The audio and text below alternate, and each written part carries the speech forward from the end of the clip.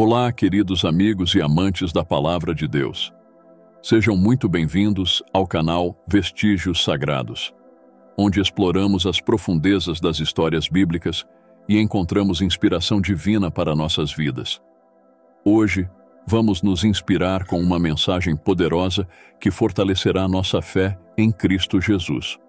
Vamos juntos nesse percurso de fé e descoberta dos mistérios que a Bíblia nos revela preparem-se para um momento de reflexão e crescimento espiritual.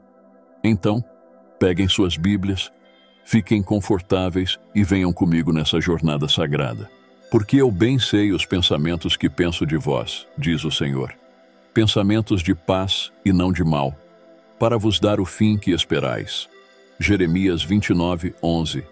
Este versículo se encontra no livro de Jeremias, onde o profeta comunica aos exilados em Babilônia uma mensagem de esperança e restauração de Deus. Deus assegura ao seu povo que, apesar das dificuldades e das circunstâncias desfavoráveis, ele tem um plano de paz e prosperidade para eles, não de maldade. Esse plano promete um futuro cheio de esperança.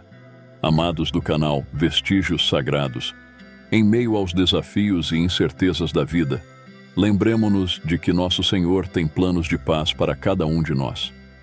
Quando enfrentamos obstáculos, é essencial confiar na promessa de Deus de que Ele está conosco e que seu propósito para nossas vidas é de esperança e um futuro brilhante. Ao aprofundarmos nossa fé em Cristo Jesus, encontramos força e motivação para superar qualquer adversidade. Tenham fé pois o Senhor conhece os pensamentos que tem sobre nós e eles são sempre para o nosso bem. Vamos seguir firmes, inspirados pela certeza do amor e dos planos de Deus. Que o Senhor os abençoe abundantemente.